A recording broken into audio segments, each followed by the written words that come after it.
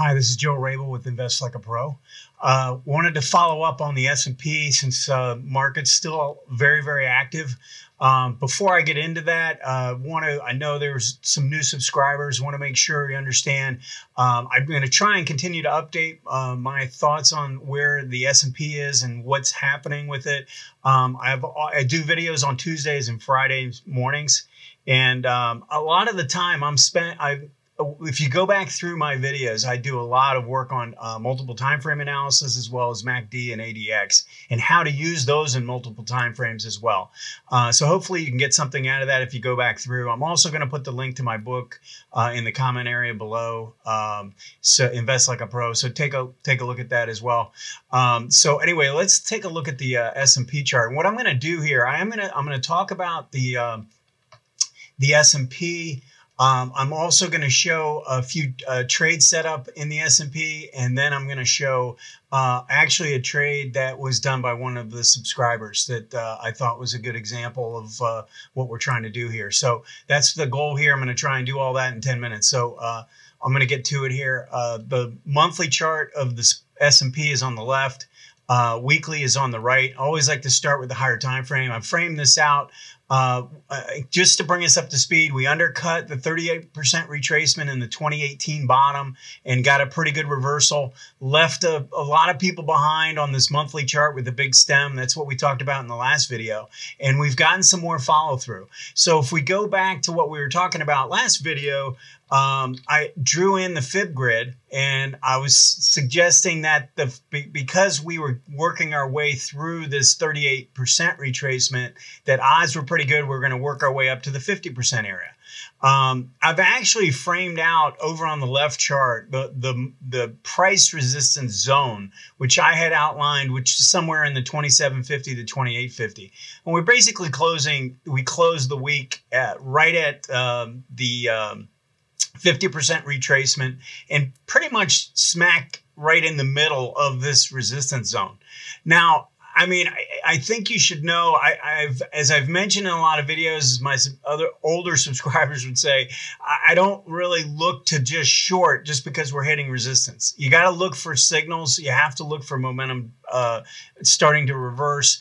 Um, I use a pattern I like to look for on a smaller time frame, a one, two, three uh, reversal in the trend.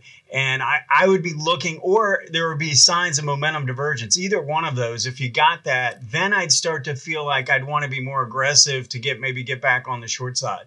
But right now, um, we've made a pretty good move. And if you look at the weekly bar, it didn't close right at the high, but it closed pretty strong. It was a it was really a strong week. Um, and uh, you know there, there could continue to be some uh, upside follow through. Uh, the 50% retracement is a pretty good barometer. If we can push through that, um, the, in fact, the, the way I would look at it, the farther you push to the upside, um, I think the the higher the probability that we've made a very very significant low down here. And, and it's a lot easier to defend to defend the farther you push off that low. But the more you push off of it the more of a sign that you know you've got some pretty good strength underneath. Now i mean i don't want to uh, minimize the fact that we've got some pretty strong resistance up above 3000 so it, it's very possible based on the way this is playing out that you know we could maybe fiddle around in here in the short term but maybe we try and push up towards 3000 before it really starts to roll over again. Um, i'm not i don't really like to predict. I like to take i like to do analysis start from the higher time frame work my way down. We're going to do that here right now. Um, i'd rather not predict. I'd rather look for high probability areas and then look for signals from there. So um, i'm going to switch this to a uh, daily chart. And actually i'm going to switch to daily over here hourly on this side. Um, the last time I had talked about the fact that we broke this downtrend line, uh, made a pretty strong move, pulled back to the 38 to 50% retracement, and then took out this high. And that really qualified as a one, two, three change in trend. So we're now in an uptrend here uh, to the upside. And I, I think, you know, I would probably be watching this trend line now and looking for signs that uh, you know a trend line break. Now we're kind of far away from that. If you wanted to, I guess you could be more aggressive and look at this trend line. Um, you know, it, it's not a bad idea in this instance because we're right at the 50% retracement. But I think what we're going to still need to do is break this 18 MA. Uh, very important line on the hourly chart. I'd, I'd, like to see that broken. And then if we rally back underneath it, um, the 10 minute chart is going to look uh, pretty ugly at that point, probably giving us one of our sell signals. So um, I think that's how I'd be looking at it right now. If you're real aggressive, you'd probably be looking for a one, two, three change in trend off of this 50% retracement.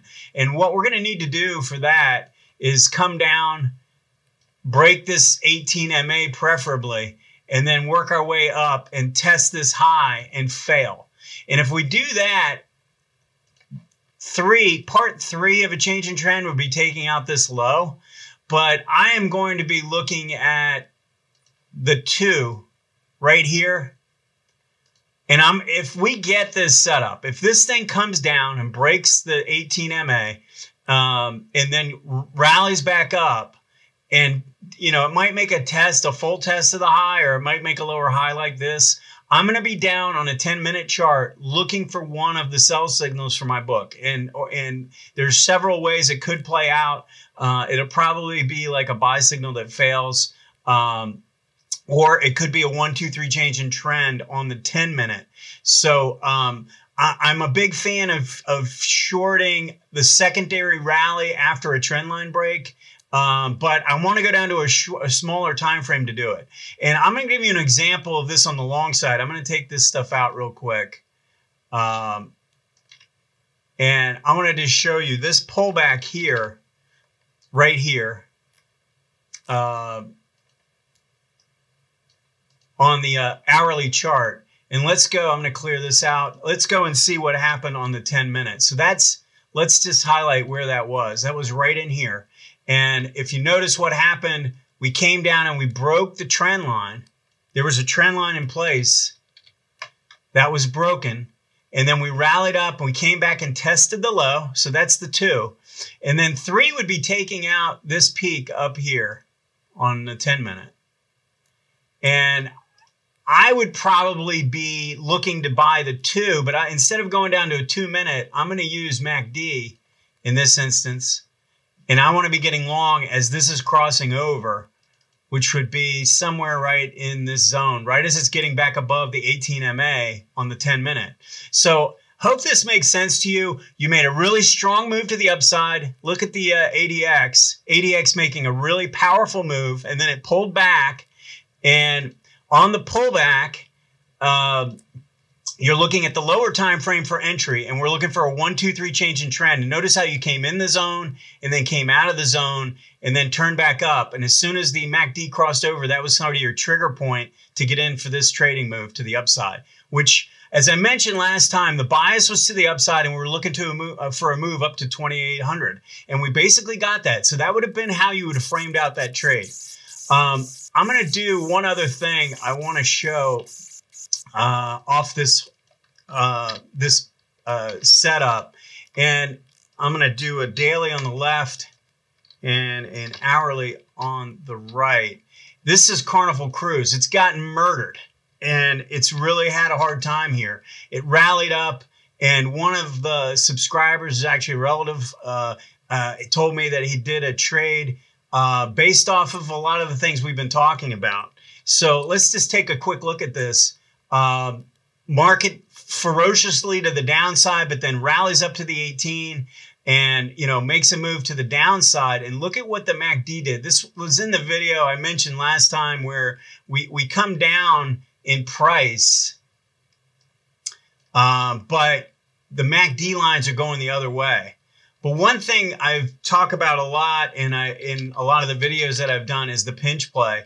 And if you notice the MACD line is pinching in towards its signal line, but it doesn't break it. This is a pretty powerful signal to be on the lookout for, especially when price actually comes down and takes out this low.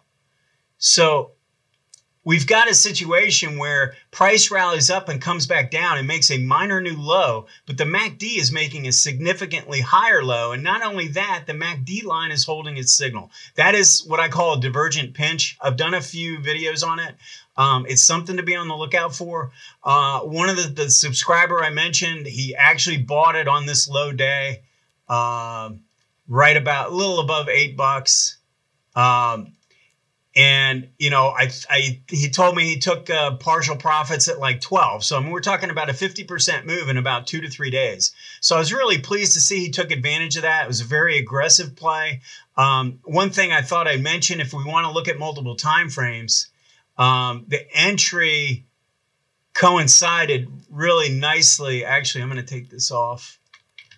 Really nicely uh, with the uh, break of the signal line to the upside.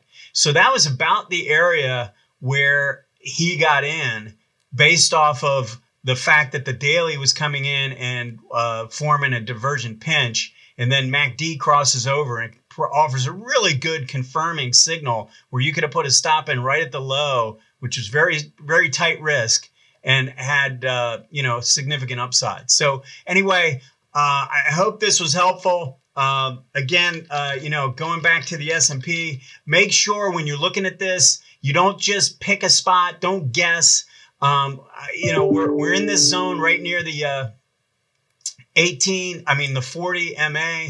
Um, but this is the zone where we'd be looking for some type of a reversal. But we do need to see uh, some trigger signs. Okay. Uh, please subscribe, hit the uh, like button, and we'll talk to you soon.